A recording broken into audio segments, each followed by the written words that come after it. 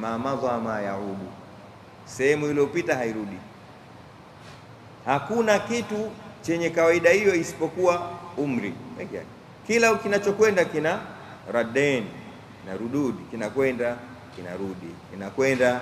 Mbona Ramadhani inakwenda inarudi? Idi imeitwa idi kwa sababu ya mwendo kwenda na kurudi, ndio imeitwa idi, ma yaudu, yani inakwenda inarudi, inakwenda. Kila unachokiona kinakwenda kinarudi. Gari huenda ikarudi. Mimi nimekuja Kigamboni, nitarudi Magomeni, namna hiyo. Sheikh Muhammad anatoka Nakuru Kenya, atarudi biidhnillahi taala.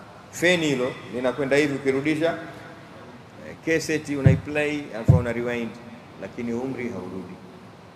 Na wallahi, ingekuwa tunayo opportunity ya kurudi nyuma, asingekufa hata mmoja, kwa time zote unabonyeza tu, umerudi mdogo, lakini unakwenda huku utaki, unabadilisha mi, mi, mitindo ya kunyoa ndevu unabadilisha mitindo ya nguo, lakini ndio unaondoka, unaonekana kabisa, sura yako inaonekana hii safari hii.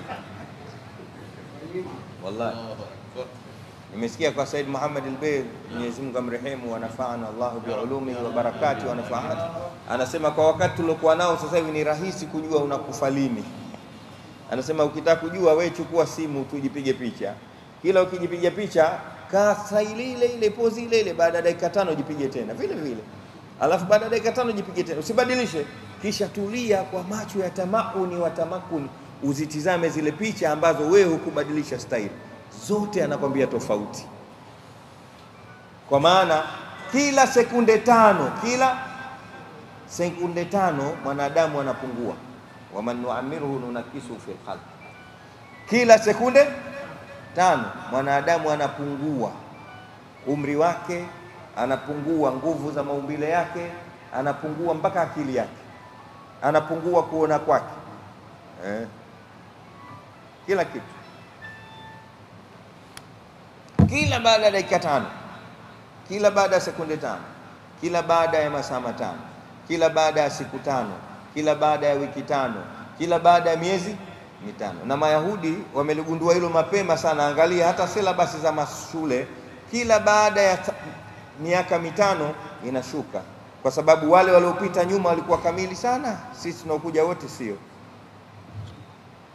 Ukiendeleza zile zile silabasi walizosoma wakina Ibnu Hajar Almuhaqiq Walhafidh, zikija sasa tuelewi chochote, na ukitaka kulijua ichukue umu tu ya Imam Shafi kisha isomeshe msikitini, utabaki peke yako.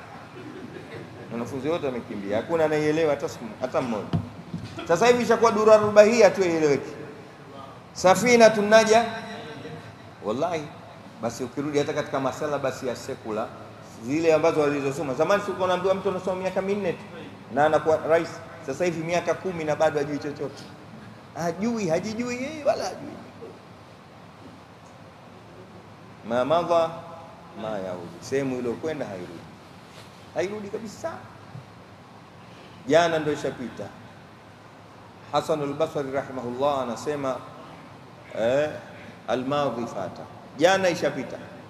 Walmuammalu ghaibun, na kesho ni bahati mbaya, inawezekana usiwepo.